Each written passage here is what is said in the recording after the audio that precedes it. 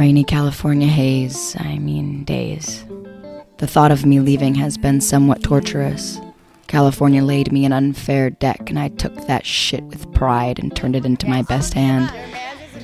This place built my character, strength, integrity, and dreams, obtaining zero goals before I got here, and now I find myself making a goal list to squash ritually and habitually for the past four years.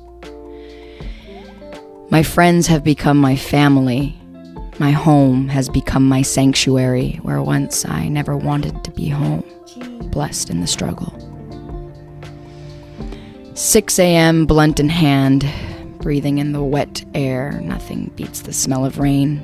And like the rain, I am soaking in every minute I have left here. Dear California, how you've stripped me of everything I owned only to gift me the things I've never had.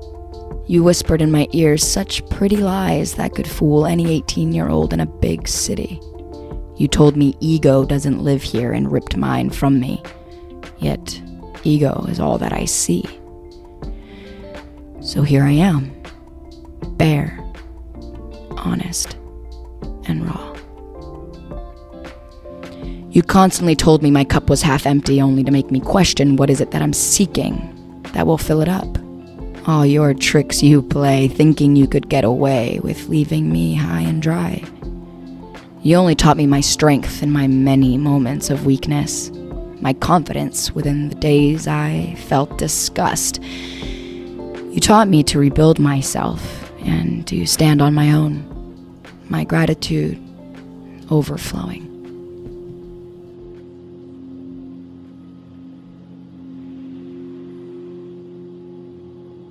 Right.